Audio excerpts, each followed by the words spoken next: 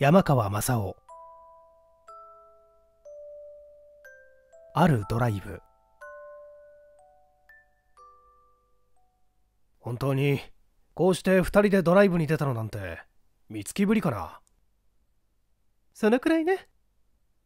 妻はシートに背を持たせて目をつぶった。窓の近くを流れる濃い緑のせいか。それとも頭痛のためだろうか。心持ちその方が青白く冴えて見える。その間日曜日だとか休みの日だとか言えばあなたは欠かさずゴルフだったわ。よく飽きなかったこと。子供でもいりゃ気が紛れたんだ。あらもともとその子供代わりに無理してこの車を買ったんじゃない？一年前。そうだったね。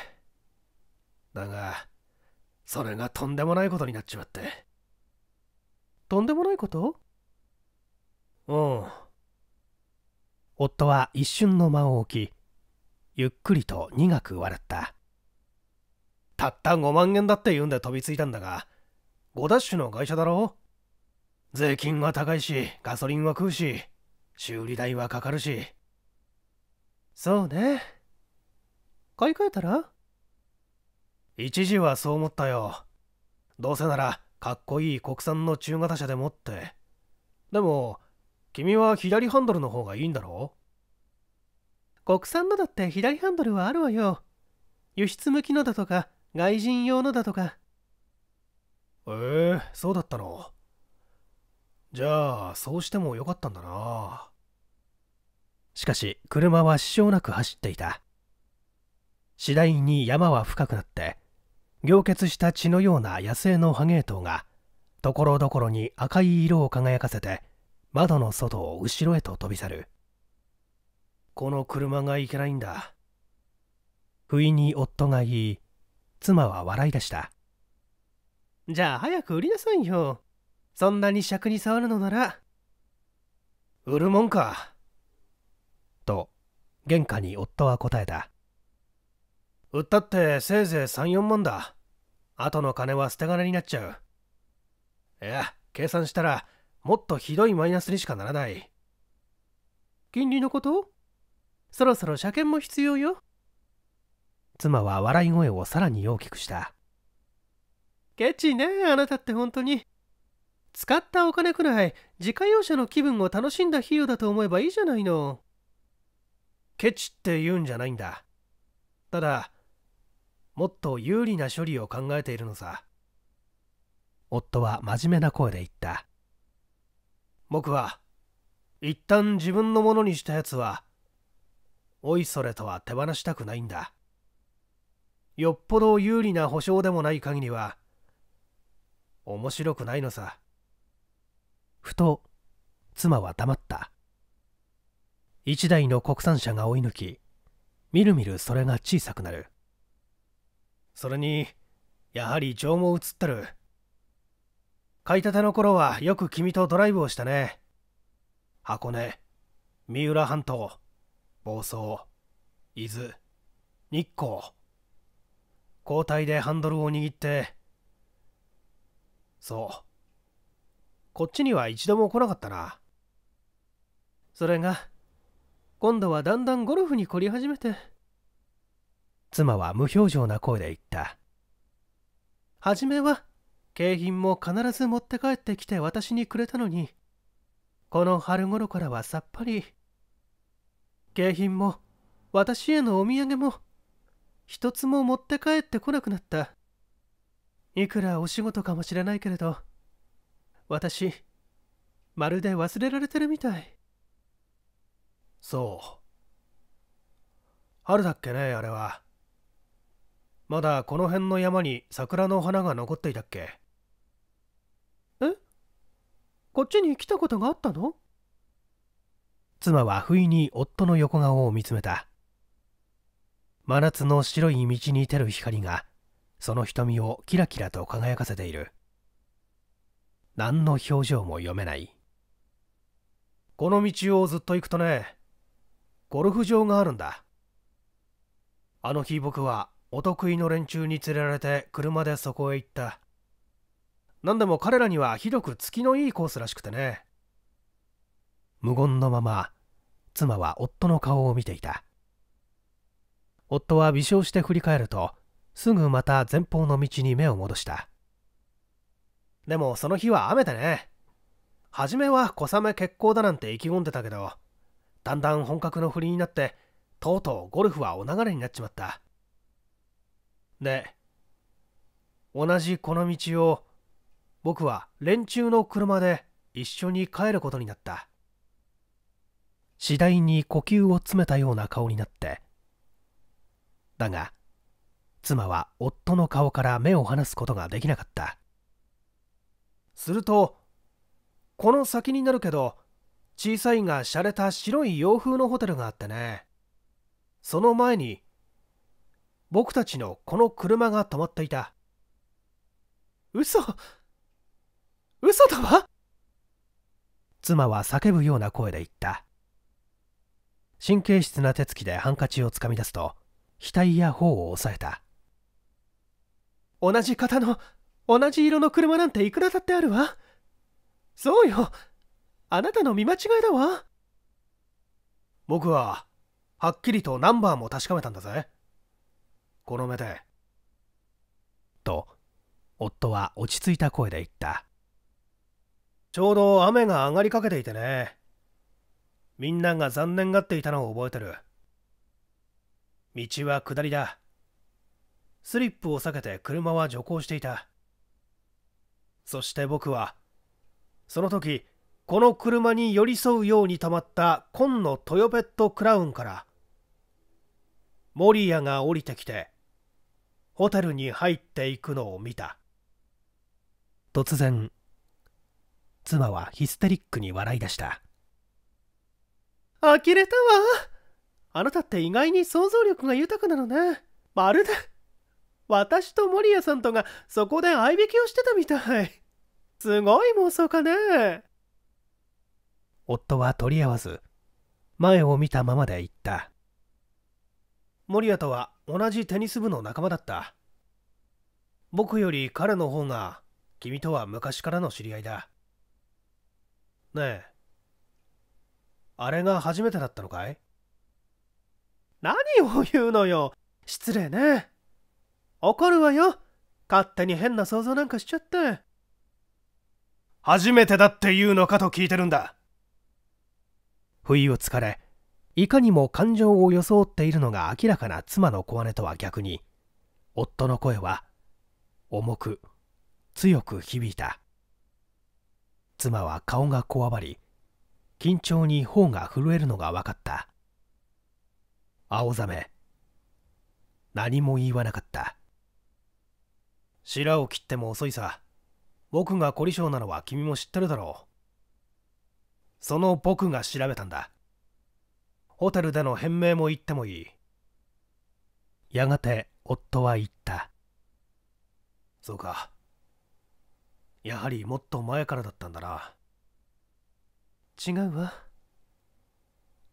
あれが最初。妻は目をつぶった。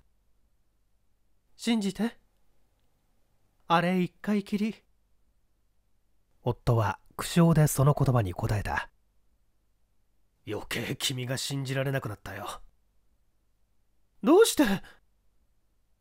妻は目を開いた。あの日はお得意たちの手前僕には何もできなかった。東京に帰っても彼らに付き合わないわけにもいかずビールを飲んで夜になってから家に帰った。すると君は全くいつもと変わらない顔や態度でいるじゃないか。こいつ僕をごまかせると思ってると思うと、僕は腹が立って。よし。とことんまで追い込んでやろうと決心した。怖いわ。あなたの目。と妻は言った。実は僕、あれからは一度もゴルフには行ってないんだ。何ですって？ゴルフだと言って家を出ては僕は一足先にいつもあのホテルに行った。その声はもう憤りを隠さなくなった。いつも君たちは来た。ほとんど同時に近かったが必ず君が先に彼が後に。ホテルを出るのはしかしいつも逆の順序だ。何度か後をつけてやっと僕はその意味を知ったよ。やめて。お願い。やめない。夫は怒鳴った。あいつの車は右ハンドル。君の。つまり僕たちの車は左ハンドルだ。必ず君は奴の車を追い抜く。いや追い抜くふりをして並ぶ。そして二人は車の窓から手を出して握手したり手を触れ合ったりしてイチャつくんだ。まるでそれが君たちの「こんにちは」と「さようなら」の合図か挨拶みたいに。いつも仲良さそうに幸福そうに子供みたいに。君たちはそうやってホテルの往復でまで不定とスピードのスリルを楽しむ。妻は夫の顔が真っ赤なのに気づいた。結婚して6年こんな顔は見たことがなかったと思った。胸が震えてきた。内側から追い抜くのは違反だからね。だから君たちの到着と出発の順序もああなるんだ。でもあんな道で。まったく。君も運転がうまくなったものさ。夫は乾いた声で笑う。妻は唇をわな泣かせて肩で呼吸をしていた。額に汗の粒がにじみ出て流れる。あいつが好きなのか？僕と別れたいか？何も言わなかった。答えろ。僕は真面目なんだ。確かに私はあなたを騙してたわ。とやっと妻は言った。今も騙そうとしました。でももうおしまいね。あの人と結婚するかどうかは別の話。とにかくもう私はあなたと一緒に暮らせないわ。どうして？あなたって人が信じられなくなったの勝手なことを。夫は言った。君から信じられるってことはつまり甘く見くびられるって意味なのかね。そうかもしれないわね。そしてため息をつくような口調で妻は言った。私あなたって人をよく知らなかったんだわ。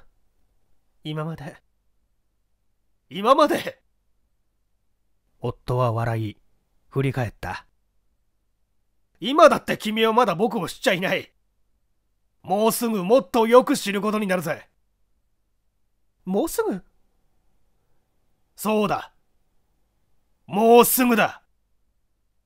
夫は前方を見つめたままで言った。さっきも言っただろう。僕は一旦自分のものにしたやつは、おいそれとは手放したくない。もし手放さざるを得ないときは、よっぽど有利な気に入る保証でもない限り面白くないんだって。夫は妻を眺めその目を窓の外の風景に移した。それは凍りつくような冷たい目つきだった。もうすぐいつも君たちが手を触れ合って遊ぶあたりになる。さあ運転を君に代わってもらおう。どうして？いいから変わるんだ。夫はブレーキをかけ、一旦車を止めると、強引に妻を左側の席に押しやり、自分は助手席にと入れ替わった。さあ、走らせるんだ。ゆっくりとな。夫の声や態度は別人のように威圧的で、妻は言いなりになるほかなかった。車が滑り出すと、夫は身を斜めにし、体をシートの背に隠した。運転する妻の膝近くで彼女を見上げながら言った。そろそろ守谷の車がやってくる時刻だ。いつも後ろから続いてくる君の車の見えないのを不審がって。でも約束の時間もあることだし今日は何かの都合で君が先に行ったのかなと思いながらやってくるさ。そしてこの車を見つけて喜び勇んで追っかけてくるに決まってる。何を考えているの？妻の声は震えていた。奴は今日もきっと「こんにちは」をしようとする。幸い人気ない山道だ。違反をしても相手は慣れ合いだしわからない。そこで奴は内側から追い抜こうとする。内側つまりその道の左側を眺め妻は悲鳴を押し殺した。ガードレールのない道の左側はそぎ落としたような深い断崖が続いていた。そこは渓谷でその下は確か岩を噛む激流が渦を巻いているのだ。まさかまさかあなた。いいか。と下から夫の声が言った。君は追い抜かせるように車を右に寄せろ。そして守谷の車が並んで奴が手を出してきたらいきなりハンドルを左に切る。接触して奴の車を崖から落っことすんだ。君は運転が上手だからうまくやればこっちは落ちずに済む。いや嫌ですそんなの。妻は金切り声で叫んだ。しかし夫は平静な口調だった。嫌ならその時になったら僕が下からハンドルを左に切るだけのことだ。この崖から落ちればまず守谷は死ぬ。誰も見ている奴はいない。奴が勝手に違反してその結果の事故だといやこっちは罰金さえ払わずに済むんだ。そしてもし万一守谷が生き延びたらそしたら僕は君を守谷にやりその代わり莫大な慰謝料を取る。いずれにせよ事故は奴の違反が理由だからこの車の受ける損害には相応の賠償金をいただく。どうだい?いい考えだろう。斜めの姿勢のまま夫は不気味に笑った。妻はほとんど失神寸前の気分だった。その時バックミラーに一台の紺色のトヨペットがぐんぐん速度を上げ近づいてくるのが映った。運転している男が右側の窓から手を振る。守谷だ。妻はハンドルを握りしめた。合図のクラクションを鳴らしてその車が近づく。夫が上目遣いに妻を見て笑った。来たようだな。さあ言った通りにするんだ。しかし妻は必死にその言葉を無視した。車をガードレールギリギリにまで寄せるとアクセルを踏み続けた守谷の車が内側から追い抜けぬよう並べぬようどこまでもその進路を塞ごうとしたのだった。おい何をしてるんだ？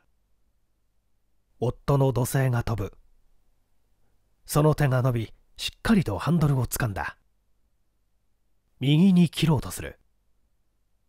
夢中で抵抗する妻の力と不自由な姿勢の夫の力とは結婚した車は小刻みに尻を左右に振りいよいよ速度を上げて突進した。事故はその直後に起こった。結局いくら無理な姿勢とはいえ男の力が女のそれに勝った。ハンドルは大きく右に切られそのまま力余り勢い余ってシボレーは道の右側面の崖に激突した。ショックで大きな岩が一つ。ゆっくりとその上に転落した。遅れてきた紺のトヨペットが慌てて急停車し守谷がその右前半部の潰れたシボレーに駆けつけた時夫はすでに完全な死体だった。顔は血とガラスの破片に埋まり下半身は石の下敷きとなって動かすこともできなかった。妻は気絶していた。奇跡的に彼女はいくつかの打撲と擦過傷を受けただけで大した怪我はなかった。彼女は約1時間後運び込まれた付近の病院の一つだけのベッドの上で気づいた。そのうめき声に看護婦が声をかけたじっとしていらっしゃい。じっとね。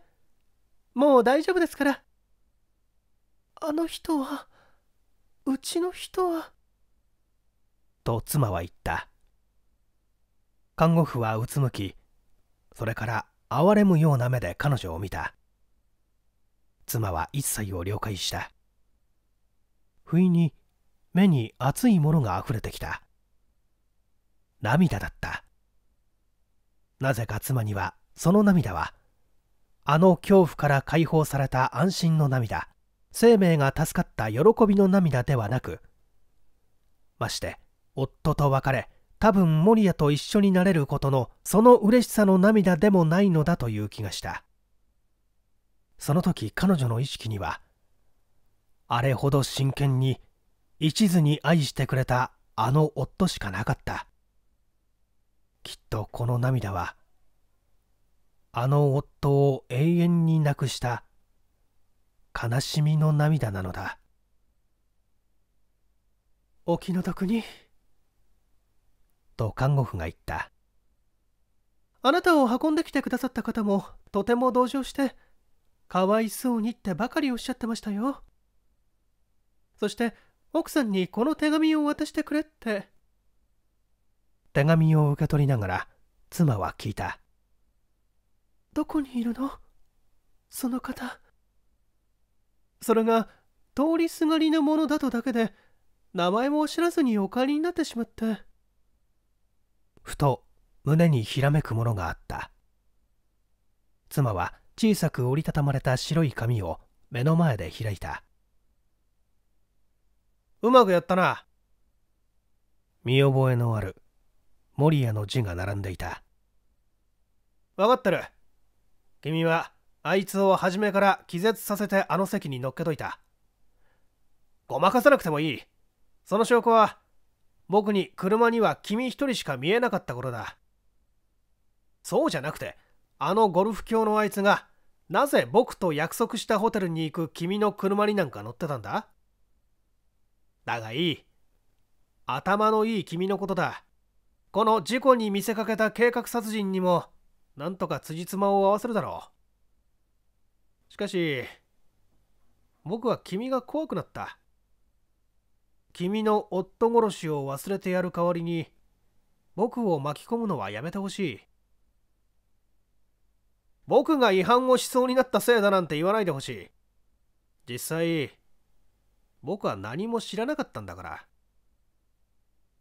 今僕は奴に悪く奴がかわいそうな気持ちでいっぱいだ。二度と僕は君に会いたくない。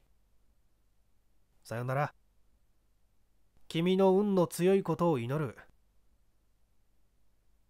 違う。違うってば。と無意識につぶやき。しかし妻にはもはや弁解する気力もなくそれを信じてもらえっこないのも分かっていた。全身の痛みと新しく湧く涙との中で妻はふと夫の残したわずかな遺産の計算を始めている自分に気づいた。